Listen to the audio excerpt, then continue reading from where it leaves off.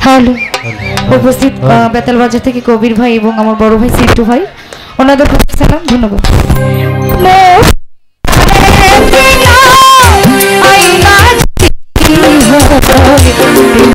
কিনা